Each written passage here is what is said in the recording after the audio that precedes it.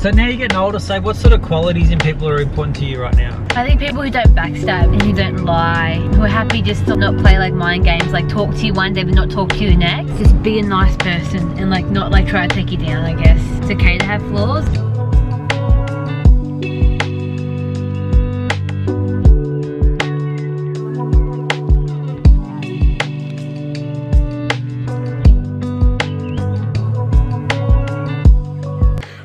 Really, really old friend, like the probably the first friend I ever had, I ran to say hi to her and she hopped in the car and I was like, did she just not notice me or did she hate me? I'm trying to think what could have happened between us, but oh.